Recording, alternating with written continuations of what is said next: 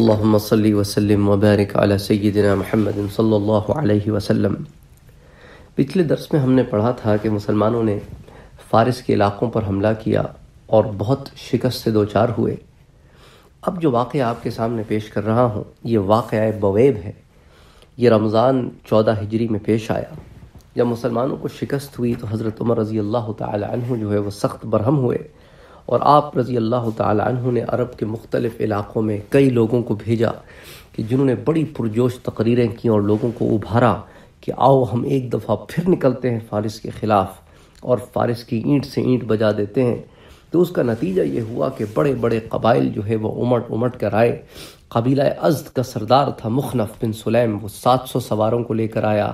بنو تمیم تمیم جو تھا، اس کے ہزار آدمی حسین بن معبد کے ساتھ آئے۔ پھر حاتم تائی کے بیٹے عدی وہ بھی ایک بہت بڑی جماعت لے کر آئے۔ اسی طرح ایک اور قبیلہ تھا، بنو رباب، بنو کنانا، بنو خشعم، بنو حنزلہ بنو طبہ، بڑے بڑے لوگ آئے۔ اچھا اسی طرح دو عیسائی قبائل تھے، نمر اور تغلب۔ ان کے سردار بھی آئے، انہوں نے کہا، ہم مذہباً تو عیسائی ہیں، لیکن اب معاملہ ہماری قوم کا ہے۔ تو حضرت عمر رضی اللہ تعالی عنہ، آپ ہمیں اجازت دیں کہ ہم بھی یہاں آپ کے ساتھ شریک ہوں۔ اس کے پیچھے بھی ایک بیک گراؤنڈ ہے۔ کیونکہ عیسائیوں کی اور مجوسیوں کی جنگیں تو ہمیشہ چلتی رہتی تھیں، تاریخی دور میں ہم یہ پڑھ چکے ہیں۔ تو اب ان، چونکہ ان کے دل بھی مجوسیوں سے بھرے ہوئے تھے، تو انہوں نے یہاں عربوں کا ساتھ دیا۔ پھر وہ عرب نسل بھی تھے، مذہباً عیسائی تھے، تو دونوں طریقوں سے وہ مجوسیوں کے دشمن تھے۔ اچھا اتفاق سے انہی دنوں جریر جو ہے، جریر بجلی، یہ بھی آیا۔ ہوا یہ تھا کہ حضور صلی اللہ علیہ وسلم کے زمانے میں یہ حضور کی خدمت میں آیا تھا اور کہا تھا کہ آپ مجھے میرے قبیلے کا سردار بنا دیں حضور نے منظوری دے دی تھی، لیکن ابھی تک اس کے اوپر تعمیل نہیں ہوئی تھی۔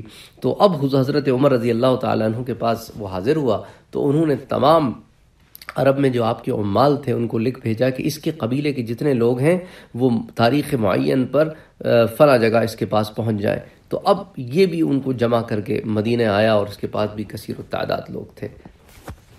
ادھر مسنا، جن کے بارے میں ہم پچھلے درس میں پڑھ چکے ہیں، انہوں نے عراق کے تمام سرحدی علاقوں میں نقبہ بھیج کر ایک بڑی فوج تیار کر لی تھی۔ اچھا یہ خبر ایرانیوں کو بھی پہنچ گئی تھی۔ تو ایرانی بھی کہاں رکنے والے تھے؟ انہوں نے بھی بارہ ہزار کا لشکر تیار کیا جو ان کی رانی تھی پران درخت۔ اس نے جو ہے بہت بڑا بارہ ہزار کا لشکر تیار کیا۔ اور ایک آدمی ہوا کرتا تھا، اس کا نام تھا مہران بن مہرویہ ہمدانی اس کو اس نے افسر مقرر کیا، اس کی وجہ یہ تھی کہ مہران جو ہے، اس کی پرورش عرب میں ہوئی تھی تو وہ عربوں کو بہت اچھی طریقے سے سمجھتا تھا، ان لوگوں کی جنگی ٹیکٹکس کو جانتا تھا۔ تو اسی لیے اس نے اس کو منتخب کیا کہ یہ اچھا انالائز کر لے گا عربوں سے لڑنے میں، بڑا کارآمد ثابت ہوگا۔ تو بہرحال یہ نکلا یہاں سے اور یہ کوفے کے قریب ایک جگہ ہے بویب، وہاں پر آ کر یہ فروکش ہوا۔ اور اس کے بعد اس نے بیچ میں جو ہے، پانی رکھ لیا اور ادھر خود اترا، ادھر مسلمانوں کی فوج تھی۔ تو بہرحال مہران جو ہے وہ یہاں پہنچا اور اس کے بعد دوسری طرف مسنا جو ہے، انہوں نے بھی بڑی نہایت سے ترتیب دی اپنی صفوں کو کہ بھائی جب جنگ شروع ہوگی تو بس پھر جو ہے، لڑائی ہوگی اور زبردست لڑائی ہوگی۔ بارہ ہزار کا لشکر سامنے ہے۔ بیچ میں دریائے فرات تھا۔ تو ادھر مہران نے دریائے فرات عبور کیا اور یہاں دوسری طرف آ گیا۔ تو ادھر مسنا نے جو ہے اپنے لشکر کی صف بنائی اور میمنا پر اس نے مضعور کو رکھا اور میسرا پر نسیر کو رکھا، پیدل اپنے بھائی مسعود کو رکھا اور اسی طرح جو ہے ایک جگہ عاصم کو رکھا اور گشت کی فوج پر عثما کو رکھا۔ تو اس طرح اس نے جو ہے وہ ڈفرنٹ افسروں کو مقرر کیا اور یہاں وہاں چکر لگانے لگا تو پھر ایک علم ایک جھنڈے کے پاس پہنچا اور کھڑے ہو کر اپنی فوج سے اس نے تقریر کی کہ بہادروں، دیکھنا تمہاری وجہ سے تمام عرب پر بدرامی کا داغ نہ آئے گا۔ تو اس کے بعد قاعدہ یہ ہوتا تھا کہ اس کے بعد تین دفعہ تکبیر کہی جاتی تھی، پھر مسلمان فوج چارج ہو کے نکلتی تھی۔ تو پہلی تکبیر جب کہی جاتی تھی تو فوج کیا کرتی تھی کہ اپنے جو حرب و ہتھیار وغیرہ ہوتے تھے نا، وہ اس سے آراستہ ہو جاتی تھی۔ بالکل ریڈی ہو جاتی تھی۔ دوسری تکبیر ہوتی تھی تو لوگ جو ہے ہتھیار تول لیتے تھے اور تیسری تکبیر پر وہ نکالتے تھے میان سے اور گھس جاتے تھے، حملہ ہوتا تھا۔ تو مسنا نے ابھی دوسری تکبیر کہی تھی کہ ادھر ایرانیوں نے حملہ کر دیا۔ تو یہ دیکھ کر کچھ مسلمان بھی یہاں صفوں سے نکلنا شروع ہو گئے۔ تو فوراً مسنا نے کہا کہ یہ کیا کر رہے ہو تم لوگ؟ واپس آؤ۔ اس کے بعد وہ لوگ واپس آئے۔ تو اس کے بعد جو ہے جب اس نے چوتھی تکبیر کہی تو پھر یہاں سے حملہ ہوا۔ اور زبردست جنگ ہوئی ہے، بارہ ہزار کا لشکر، زبردست جنگ، بڑی گھمسان کی جنگ ہوئی۔ اور جو ہے، لوگ جو ہے وہاں پر ہر طرف گر رہے تھے، ان کے بھی گر رہے تھے یا اس کے بھی گر رہے تھے۔ تو عیسائی سرداروں کو جو ان ساتھ تھے، اس نے بلا کر کہا کہ دیکھو، اگرچہ تم عیسائی ہو، لیکن ہم سب ایک قوم کے ہیں اور یہ قوم کا معاملہ ہے۔ تو میں ایسا کرتا ہوں، میں مہران پر حملہ کرتا ہوں۔ تم میرے ساتھ رہنا۔ تو انہوں نے کہا، بالکل آپ کریں، ہم آپ کے ساتھ ہیں۔ تو اس نے ان دونوں کو اپنے ساتھ لیا۔ اور حملہ کیا تو مہران مہران کا جو میمنا تھا نا، جو رائٹ ونگ تھا، وہ توڑ کر بالکل اس کے قلب میں سینٹر میں گھس گیا۔ تو ادھر آجمی جو ہے، ان کے پاؤں کھڑ گئے۔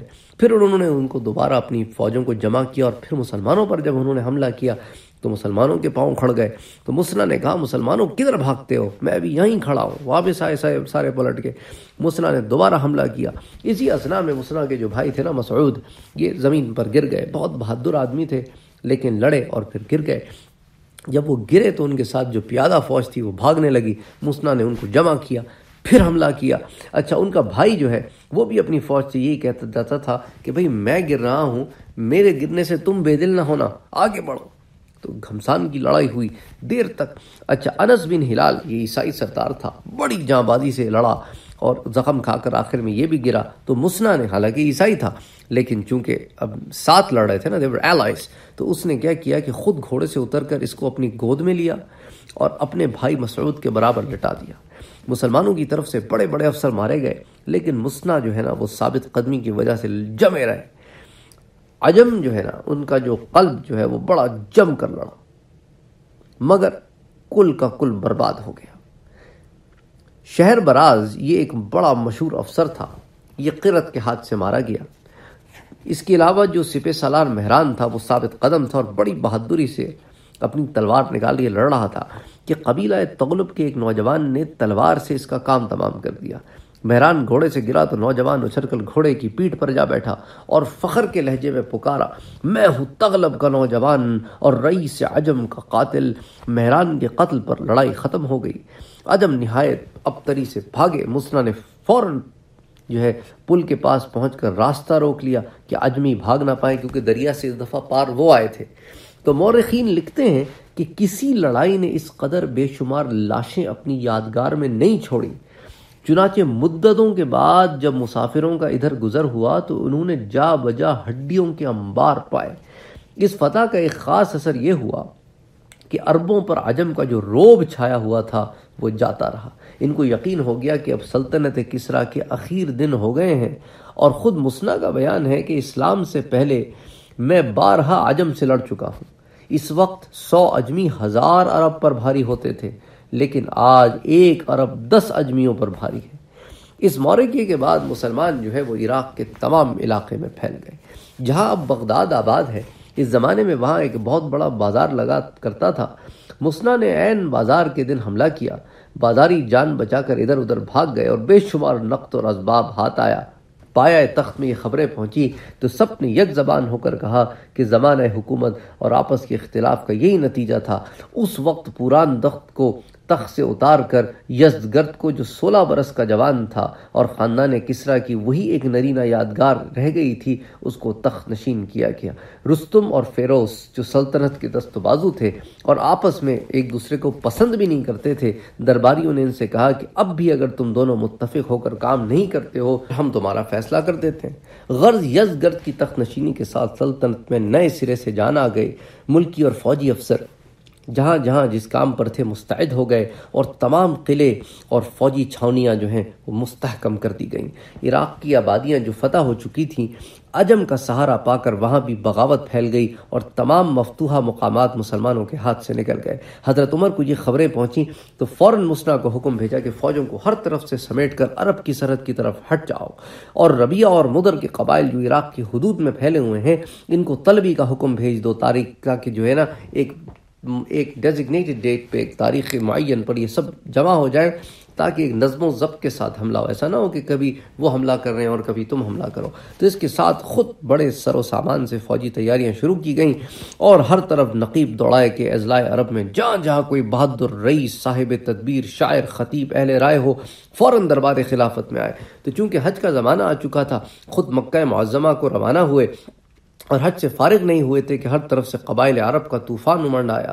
حضرت سعد ابن ابی وقاص نے تین ہزار آدمی بھیجے، جن میں سے ایک شخص تیغ و علم کا مالک تھا۔ یعنی حضرت موت صدف، مزحج، ایس اعلان کے بڑے بڑے سردار ہزاروں کی جمعیت لے کر آئے۔ اچھا ادھر مشہور قبائل میں سے یمن کے ہزار بنو تمیم اور رباب کے چار ہزار اور بنو اسد کے تین ہزار آدمی تو حضرت عمر حج کر کے واپس آئے تو جہاں تک نگاہ جاتی تھی، بندہ ہی بندہ، آدمیوں کا ایک جنگل نظر آتا تھا۔ حکم دیا کہ لشکر نہایت ترتیب سے آراستہ ہو۔ میں خود سپہ سالار بن کر چلوں گا۔ چنانچہ ہر اول پر طلحہ رضی اللہ تعالی عنہ، میمنہ پر حضرت زبیر، میسرہ پر حضرت عبد الرحمن ابن عوف کو مقرر کیا۔ فوج آراستہ ہو چکی تو حضرت علی کو بلا کر خلافت کا کاروبار سپرد کیا اور خود مدینے سے نکل کر عراق روانہ ہو گئے۔ یعنی یہ جو سٹیٹمنٹ آپ کے سامنے میں نے پیش کی ہے نہ اس کو سامنے رکھ کے آپ خود اس بات کا اندازہ کر سکتے ہیں کہ اگر اگر حضرت علی اور حضرت عمر رضی اللہ تعالی عنہ میں آپس میں کوئی چپ خلش ہوتی، معاذ اللہ، تو کیا حضرت عمر حضرت علی کو اپنی جگہ خلیفہ نامزد کرتے؟ اور اگر ایسی کوئی بات تھی، تو حضرت علی کو پھر تختہ الٹ دینا چاہیے تھا، معاذ اللہ۔ نہ انہوں نے تختہ الٹا، نہ انہوں نے حضرت علی کے علاوہ کسی اور کو تختہ خلافت پہ بٹھایا۔ بہت بڑی بات تھی۔ اس وقت جبکہ اتنے نازک حالات تھے، حضرت عمر نے صرف حضرت علی کو چنا کہ آپ خلافت، آپ کے سپورٹ ہے آپ خلیفہ ہیں اس وقت جبکہ میں سپہ سالار کی حیثیت سے لڑ رہا ہوں۔ سبحان اللہ۔ اس سے آپ کو اندازہ ہوتا ہے ان کے آپس کا ٹرسٹ، ان کے آپس کی محبت۔ اور بعد کے لوگوں نے بغض و عناد بھر دیا۔ اللہ اکبر۔ تو حضرت عمر جو ہے ان کی اس مستعدی سے ایک عام جوش پیدا ہو گیا اور سب نے مرنے پر کمرے باندھ لی سرار جو مدینے سے تین میل پر ایک چشمہ ہے، وہاں پہنچ کر مقام کیا اور یہ سفر کی گویا پہلی منزل تھی۔ کیونکہ امیر المومنین کا خود مورے جنگ میں جانا بعض مسلطوں کے لحاظ سے مناسب نہ تھا، اس لیے سرار میں فوج کو جمع کر کے تمام لوگوں سے رائے طلب کی۔ عوام نے یک زبان ہو کر کہا کہ امیر المومنین، یہ مہم آپ کے بغیر سر نہ ہوگی۔ لیکن بڑے بڑے صحابہ نے جو معاملے کا نشیب و فراز سمجھتے تھے، اس کی خلاف رائے دی۔ عبد الرحمن ابن عوف نے کہا کہ لڑائی کے دونوں پہلو ہیں۔ اگر خدا نخواستہ شکست ہوئی اور آپ کو کچھ صدمہ پہنچا تو پھر اسلام جو ہے اس کو بڑا دھچکا آئے گا۔ حضرت عمر نے کھڑے ہو کر ایک پورا اثر تقریر کی اور عوام کی طرف خطاب کر کے فرمایا کہ میں تمہاری رائے پر عمل کرنا چاہتا تھا، لیکن اکابر صحابہ اس رائے سے متفق نہیں ہیں۔ غرض اس پر اتفاق ہو گیا کہ حضرت عمر خود سے پہ سالار بن کر نہ جائیں، لیکن مشکل یہ تھی اور کوئی اس بارے گرا کو اٹھانے کے قابل نہ تھا۔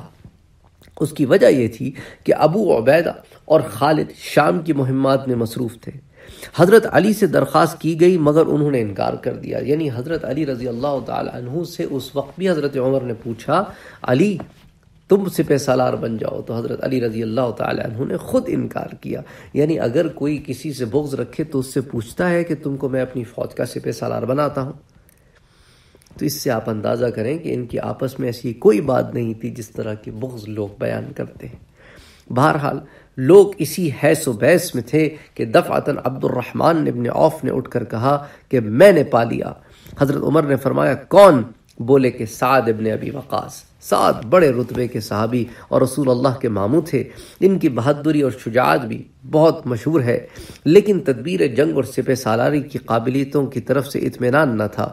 اس بنا پر حضرت عمر کو پھر بھی ذرا تردد تھا، لیکن جب تمام حاضرین نے عبد الرحمن ابن عوف کی رائے کی تائید کی، تو چاروں ناچار انہوں نے منظور کر لیا۔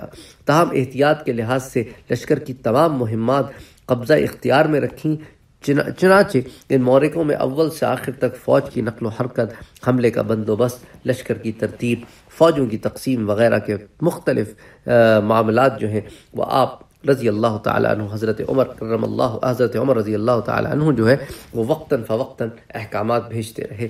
اور ایک کام بھی ان کی خاص ہدایت کے بغیر انجام نہ پاتا تھا۔ یہاں تک کہ مدینہ سے عراق تک فوج کی منزلیں بھی خود حضرت عمر نے نامزد کی تھیں۔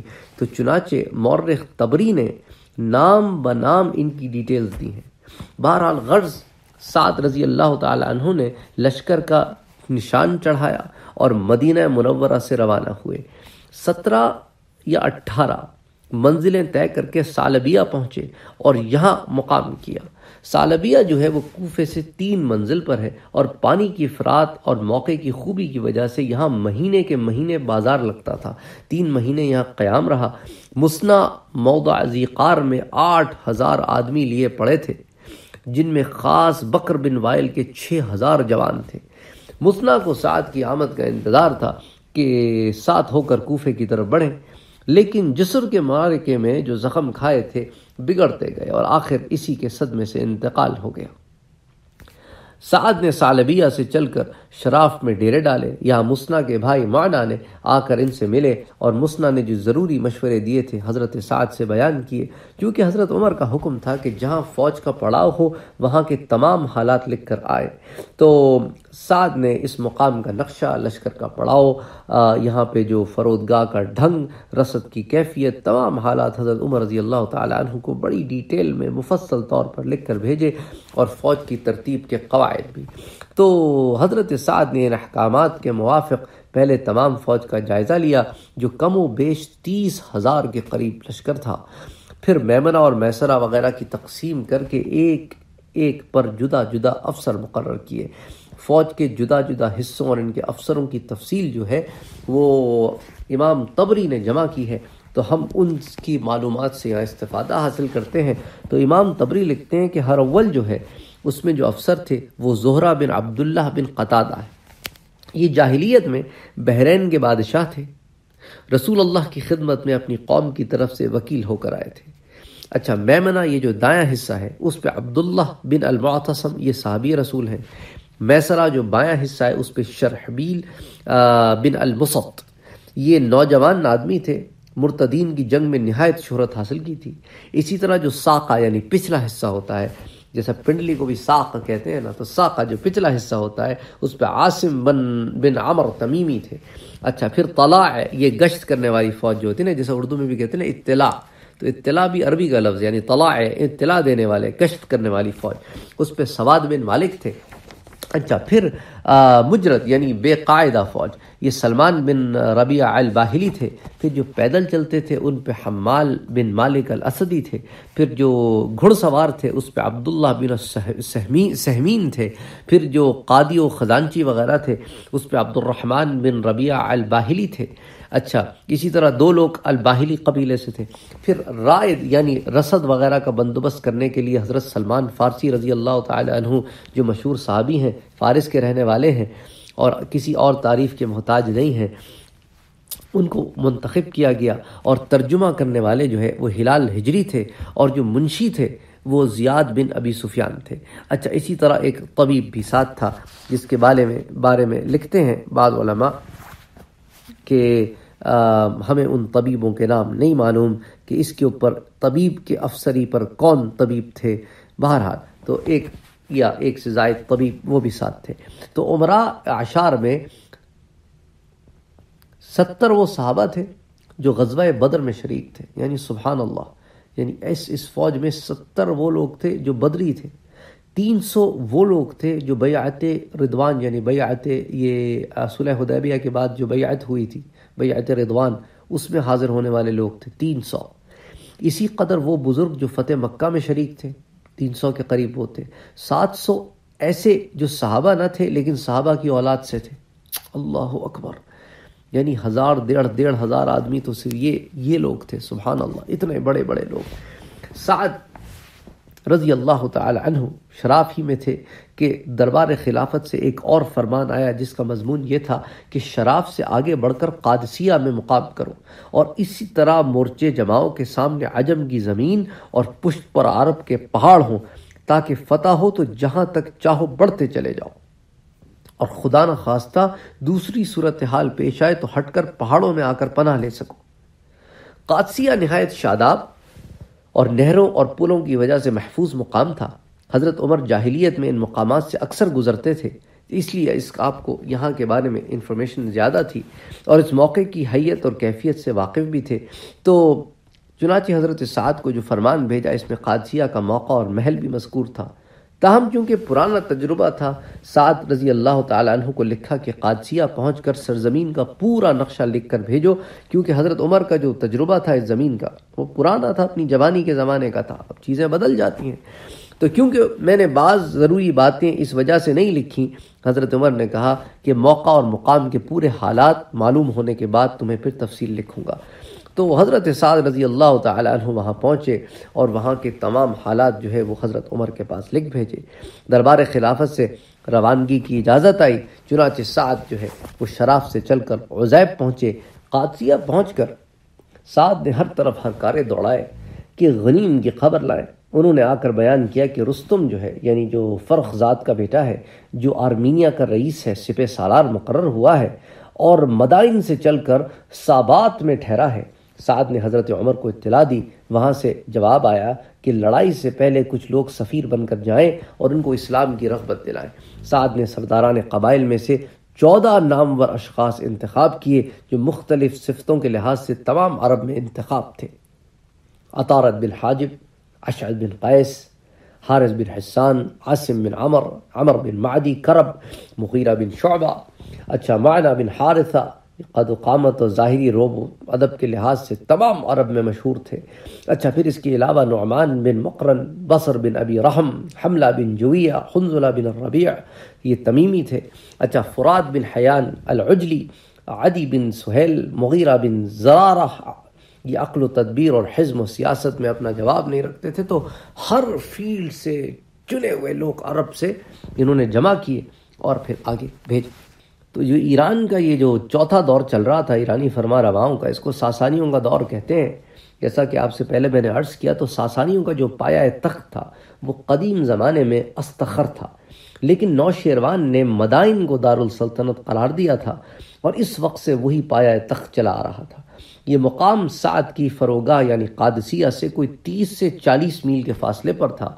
تو یہ جو سفیر تھے، سفیر کی جو جمع ہوتی ہے نا اردو میں، اس کو کہتے ہیں سفرا تو یہ جو سفیر تھے، یہ بالکل تیز رفتاری سے چڑھتے ہوئے بالکل مدائن کی طرف نکلے۔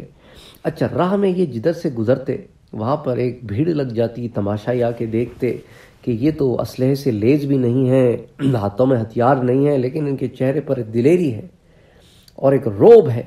اور بار بار یہ گھوڑے زمین پر ٹاپ مارتے تھے تو ٹاپوں کی آواز جو ہے گونجتی تھی۔ تو یز گرد کے کان تک جب پہنچی تو اس نے دریافت کیا کہ یہ عجیب سی ٹاپوں کی آواز مجھے معلوم ہوتی ہے، یہ کیسی آواز ہے؟ تو معلوم ہوا کہ اسلام کے سفیر آئے ہیں۔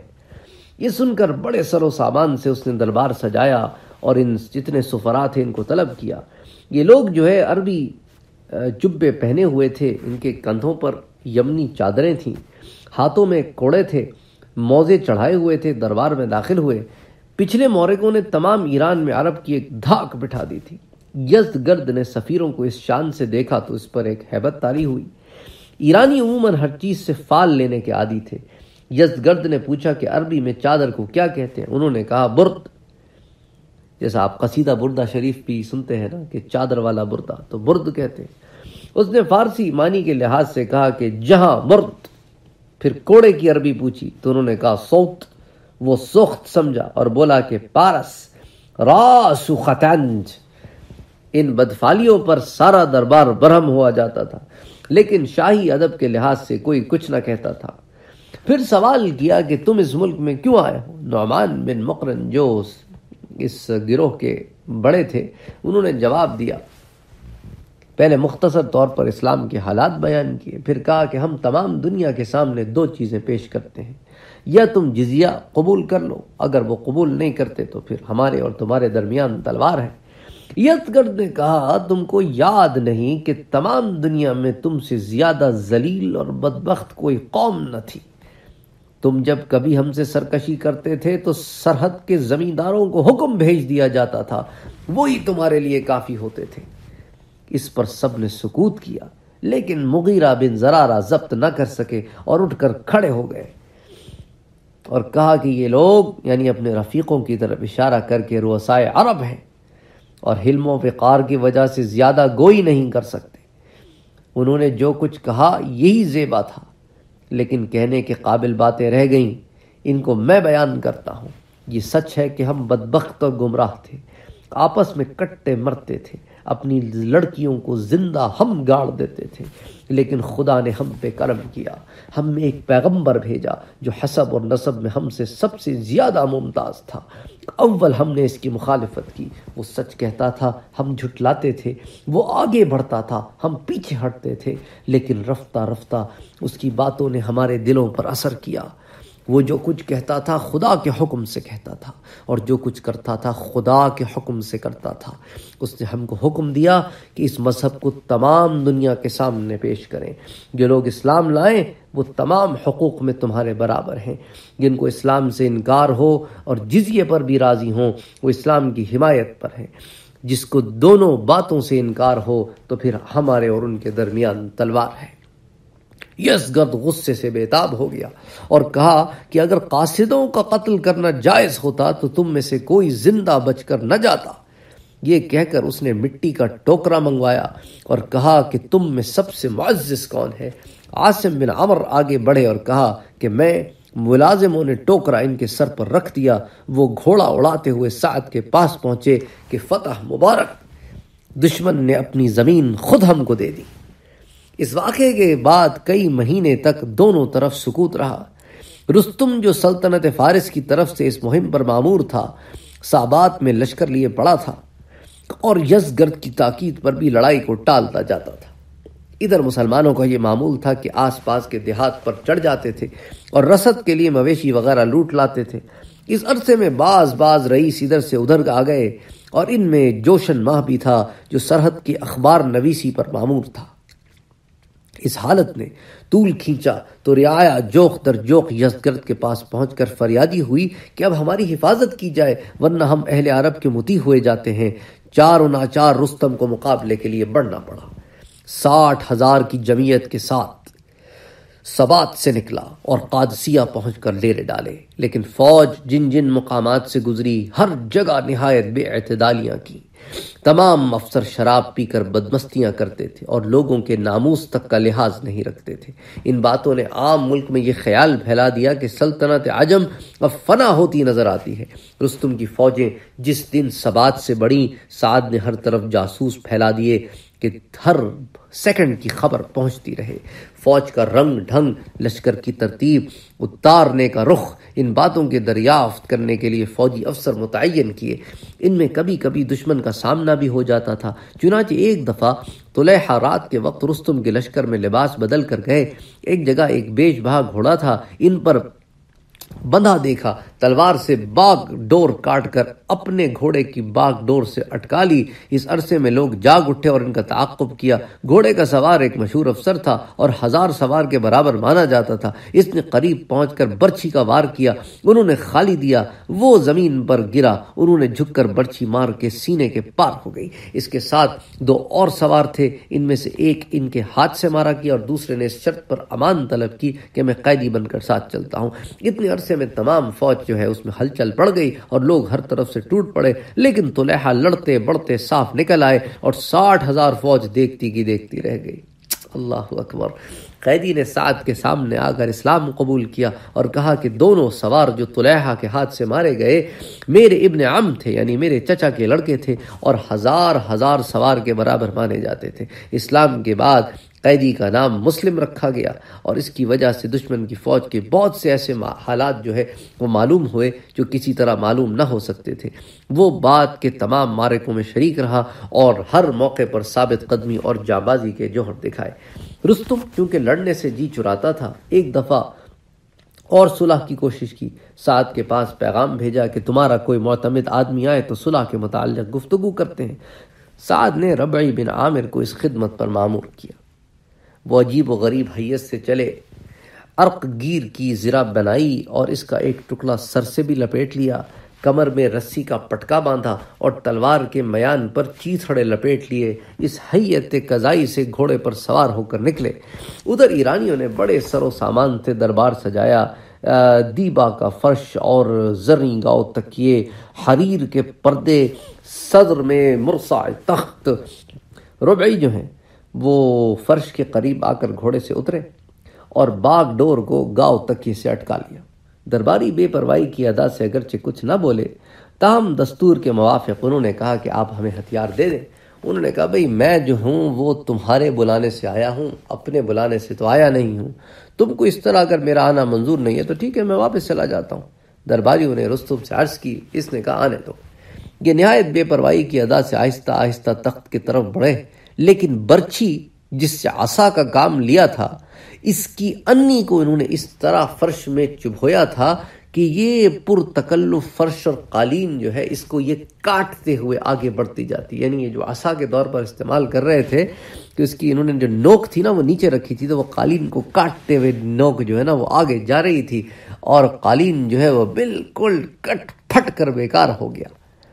تخت کے قریب پہنچ کر زمین پر نیزہ مارا۔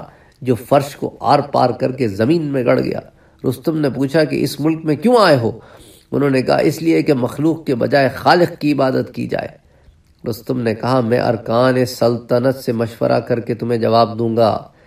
درباری بار بار ربعی کے پاس آ کر ان کے ہتھیار دیکھتے تھے اور کہتے تھے کہ اسی سامان پر ایران کی فتح کا ارادہ ہے۔